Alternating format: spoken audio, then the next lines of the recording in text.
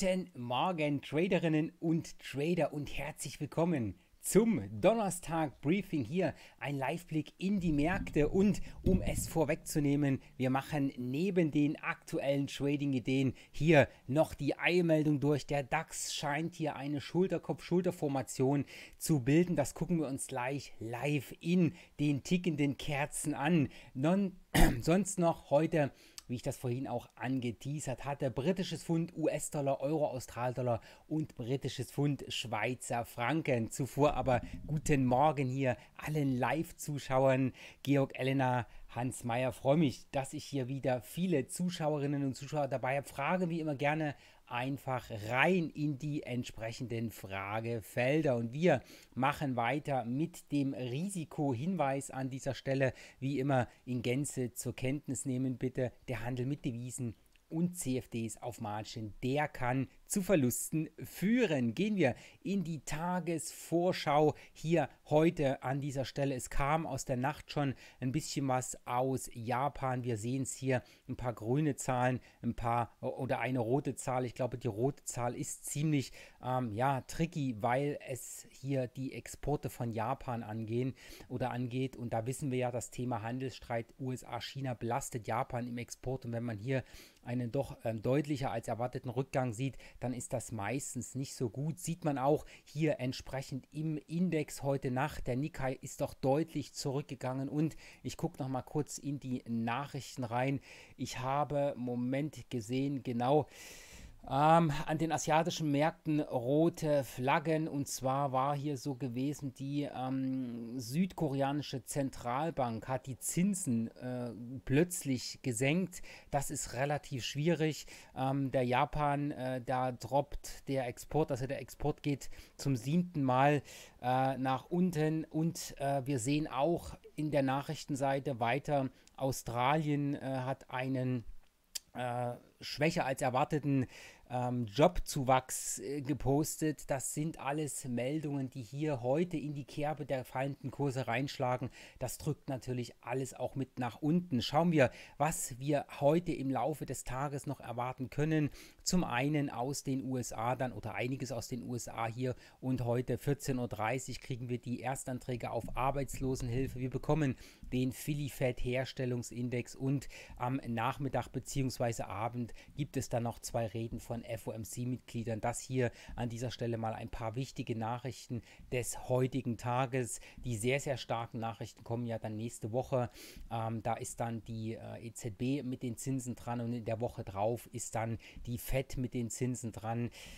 Ja, Thema Zinsen, das ist ein bisschen schwieriges Feld momentan. Der Markt hat hier einiges eingepreist. Die Notenbanken haben die Zinssenkung bereits angekündigt. Die können eigentlich nur enttäuschen.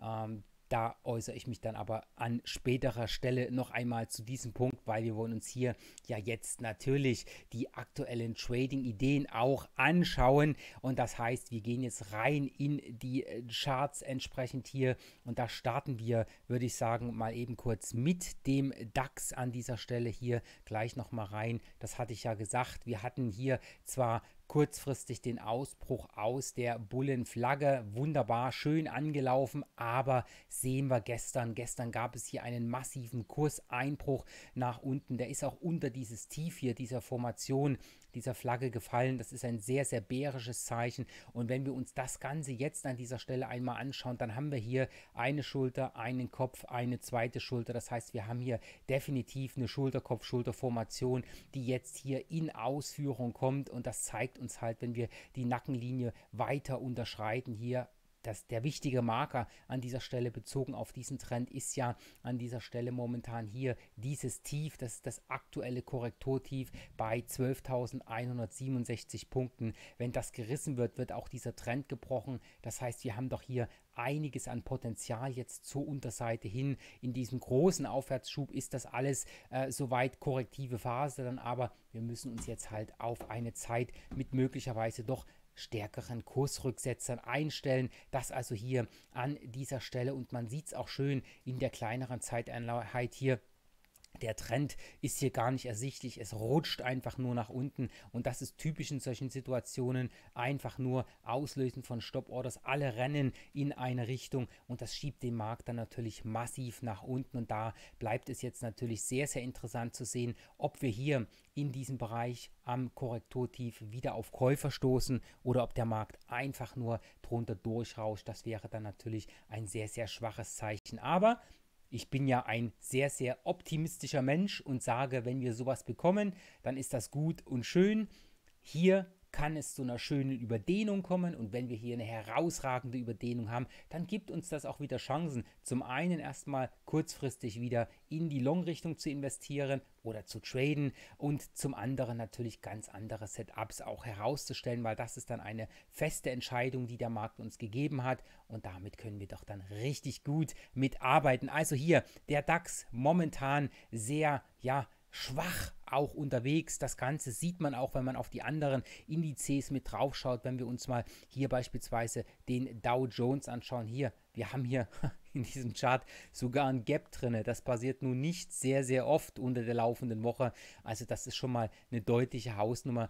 Ähm, und hier an dieser Stelle halt auch, der Markt ist halt in eine weite Bewegung gelaufen. Das ist jetzt hier Korrektur. Wir werden morgen da tief zu sprechen, wenn wir die großen Charts analysieren. Aber eins möchte ich hier an dieser Stelle noch zeigen. Ich sagte ja, die asiatischen Märkte sind auch abgetaucht. Hier Schaut euch das an. Das ist doch mal eine Hausnummer, oder? Und hier sind wir halt mittlerweile auch in einem Bereich drin, wo wir ein Trendtief unterschritten haben.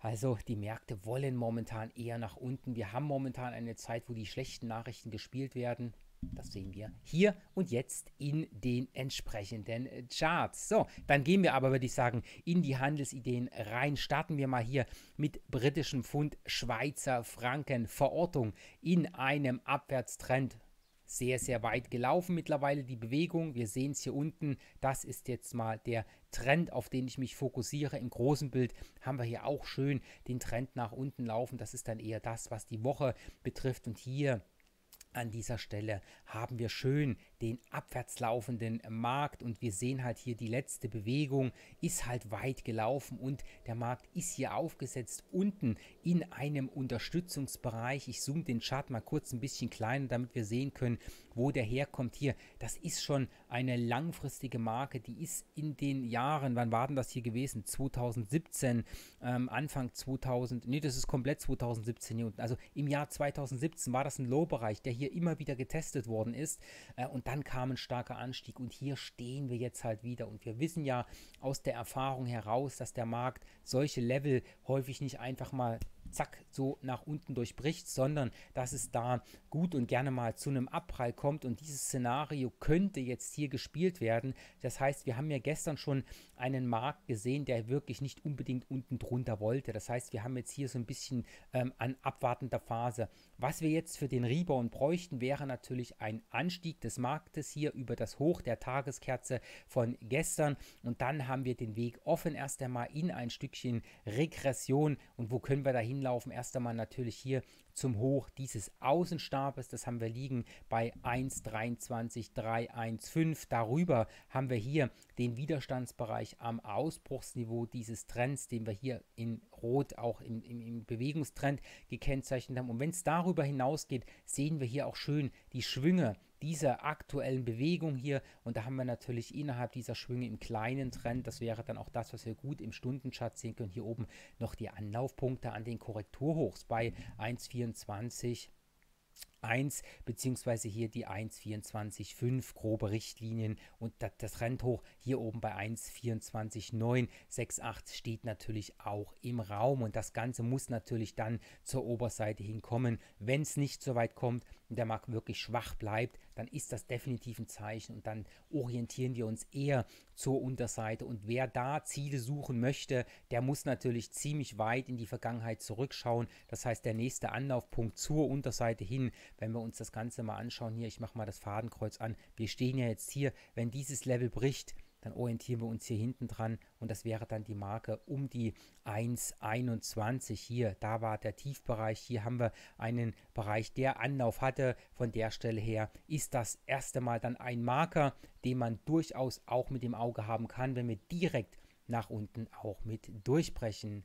Holger Gerhard, guten Morgen. Das zum britischen Pfund Schweizer Franken. Gehen wir in die weiteren Währungen rein. Hier, das war ja die Handelsidee äh, von gestern oder die Chartbesprechung von gestern, wo wir gesagt haben, okay, hier war erstmal kurze Schwäche drin, ähm, aber der Markt will scheinbar eher nach oben und das sehen wir auch aktuell. Spielt er wieder die Oberseite, ist hier verortet. Also hier schaut es so aus, als wenn sich unser Setup in der zweiten Kontraktion so entwickelt, dass sich hier tatsächlich ein Aufwärtstrend bilden kann. Und wir bleiben gleich mal beim Australdollar und gehen in den Euro-Australdollar rein. Ich hoffe, dass ich jetzt hier den Chart gleich richtig habe. Euro-Australdollar.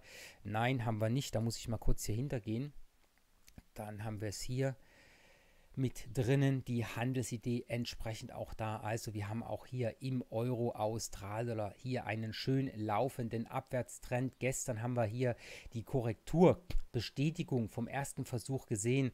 Aber wir sehen, der Markt wird halt schwach. Das ist ein schönes Zeichen, was wir hier sehen. Das heißt, wir hatten zwar nach oben hin ein paar Level liegen, die wir durchaus als Widerstände da haben. Der nächste, der uns hier auf der Oberseite erwartet, ist hier die Marke bei 1,65 beziehungsweise hier sind wir ja schon kurz rangelaufen an das Ausbruchslevel und dort kam dann direkte Schwäche wieder rein.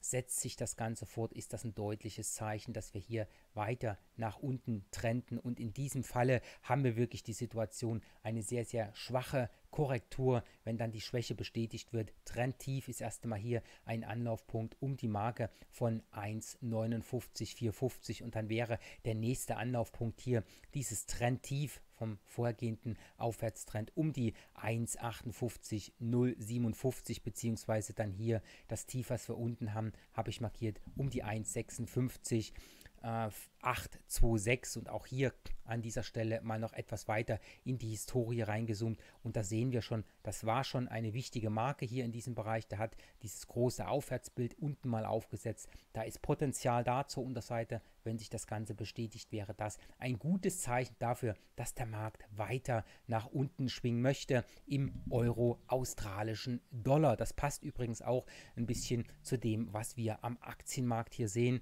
dass sozusagen die Währung auch in diese Richtungen mitlaufen. An dieser Stelle geht es weiter hier mit dem Währungspaar britisches Pfund US-Dollar, also das Cable heute mal wieder im Chart als Übersicht mit da.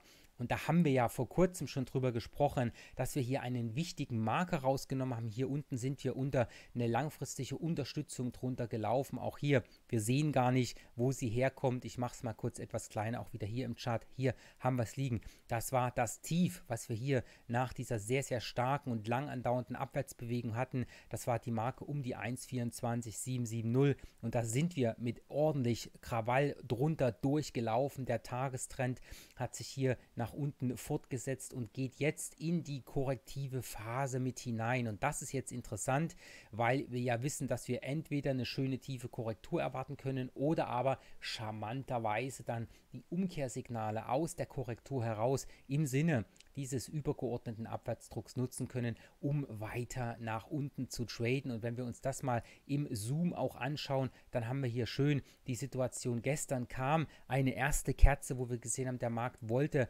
nicht weiter runter. Wir sind schon schön ins Ausbruchslevel raus oder reingelaufen. Und hier geht es jetzt weiter. Wenn sich dieser Trend, diese, dieses Verhalten nach oben zu laufen fortsetzt, dann haben wir auf alle Fälle mal in Blick auf diesen Trend hier an dieser Stelle nach oben hin mal dieses Hoch dieser Tageskerze liegen. Das ist die 1,25,2 über diesem Bereich hier, was wir als diesen großen starken Widerstand hatten. Der könnte auch in Ruhe nochmal getestet werden. Also hier ist es sehr, sehr interessant, das Verhalten der Marktteilnehmer zu sehen. Korrekturausweitung selbstverständlich hier bis zum aktuellen Trend hoch, also hier, das wäre dann der Korrekturtrend oder das Trendhoch der Korrektur gewesen bei 1,25787. Das sind die Marker, die wir ohne weiteres nach oben anlaufen können. Und hier zeigt uns auch die Stunde so ein bisschen Richtung in diesem Fall. Das heißt, wir sehen es. Wir sind hier in die Situation gekommen, dass wir diesen Abwärtstrend hier den letzten Korrekturbereich rausgenommen haben. Und jetzt kommt es halt darauf an, schwingt der Markt hier weiter hoch, dann wäre es interessant. Anlaufpunkt, wie schon gesagt, aus trendiger Sicht hier dieser Haltebereich um die 1,25,2 und danach hier mit in den Fokus genommen das aktuelle Korrekturhoch im Tagestrend Aber dazu brauchen wir natürlich erst einmal die Bildung des Aufwärtstrends und das ist nämlich noch gar nicht da. Wir haben erstmal nur den Abwärtsbruch. Seitdem verharrt der Kurs hier ja in der Korrektur dieser kleinen ersten Gegenbewegung und wenn wir dann nach oben laufen, das wäre dann das Signal, dass wir schön nach oben trenden und dann ist der Weg halt erstmal ein Stück weit offen. Wie schon gesagt, Pivotphasen oder Pivotmarker gibt es hier einige drinnen, aber wenn wir dieses Verhalten gar nicht erst sehen und der Markt vorher umdreht, also hier, da nicht hier oben drüber läuft, sondern direkt jetzt auch weiter nach unten laufen würde, das wäre dann schon ein Zeichen dafür, dass wir hier die Richtung nach unten direkt weiter anstreben und dann kommt erstmal kurzfristig das aktuelle Trendtief zum Tragen und wenn wir uns weiter nach unten orientieren wollen, dann hier auch mit Blick in den Chart, da müssen wir wieder deutlich kleiner zoomen und da haben wir als nächstes mal hier drüben aus der Historie heraus diesen Bereich um die 1,23,8, 1,23,7, die als nächste Marke hier unten mit in den Chart hineinkommt, beziehungsweise das haben wir da aktuell. Und dann, wenn wir noch kleiner zoomen, sehen wir es hier, dann kommt erstmal eine Weile nichts. Und dann hier unten der nächste Punkt 1, 21. Auch da viel Potenzial zur Unterseite. Entschieden, wie es weitergeht, wird das Ganze hier in dem Tag. Und das ist das, was wir hier sehen. Da brauchen wir einfach nur ein Zeichen vom Markt und schon geht die Reise ab hier an dieser Stelle. Das hier zum britischen Pfund US-Dollar. So, jetzt schaue ich mal ganz kurz rein, ob wir noch Fragen in den Chats haben. Auf GoToWebinar habe ich gerade keine Fragen. Schauen wir noch auf Facebook da passt auch alles wunderbar. Das heißt, an dieser Stelle sage ich heute wieder Danke für die Zeit. Morgen bitte etwas mehr Zeit einplanen. Hans Hahn, vielen Dank, gerne geschehen, weil wir sprechen hier über die wichtigen Wirtschaftsdaten. Wir haben ja diese Woche Wirtschaftsdaten aus, also Konjunkturbericht aus Deutschland bekommen, gestern das Bischbuck aus den USA. Das wird dann Thema morgen nach der Marktbesprechung und dem großen Chartcheck sein, dass wir mal schauen, was es hier gibt, weil das sind ja auch immer Indikatoren, wie sich die Zentral Zentralbanken zum einen entscheiden und zum anderen, was hier zu erwarten ist. Also dann sage ich mal allen gute Trades für heute und bis morgen. Tschüss.